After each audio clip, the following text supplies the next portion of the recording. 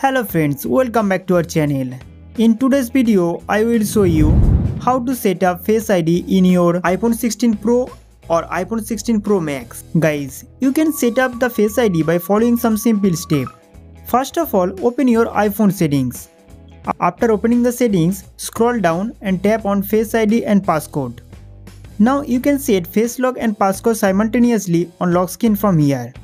After adding Face ID, you can use it to unlock your phone, purchase any application from iTunes or iOS App Store, and access app lock or hidden apps.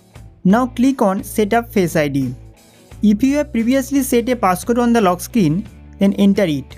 If you are set up for the first time, then this interface will appear. How to set up Face ID?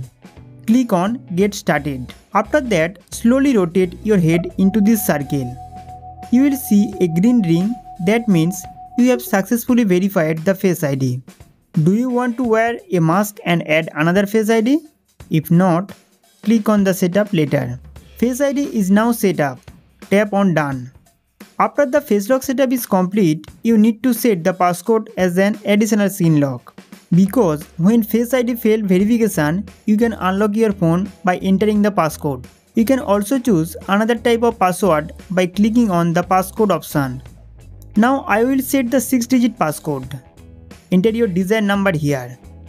If you enter a very simple passcode, this pop-up will appear. Click on use anyway, then re-enter the 6 digit passcode to confirm. Friends, passcode has been successfully set in the lock screen. If you have added Apple ID to your phone, then enter its password and sign in. It is mandatory. Friends, now Face ID and passcode both are set on the lock screen. If you want to remove or delete your Face ID, then click here and delete your face data. So guys, in this way you can set Face ID in your iPhone. I hope this video will be helpful for you. So don't forget to like this video and subscribe to our channel for more updates.